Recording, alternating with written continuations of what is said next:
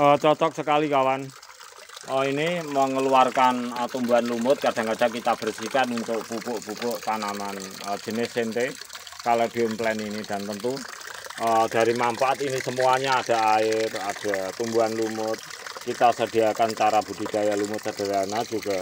Teknik-teknik di mana kita akan mendapati tanaman jenis caladium umbi sente plant akan lebih baik. Kita jadikan tanaman hias sebagai umbi sente bercabang kita berusaha naturalkan uh, apa yang ada pada kita dengan tempat yang apa adanya yang sederhana seperti ini kawan. Kita bisa memiliki uh, dan mempunyai juga uh, sebagai penghobi uh, tentu kita akan mencintai dan menyayangi akan hal ini. Natural solution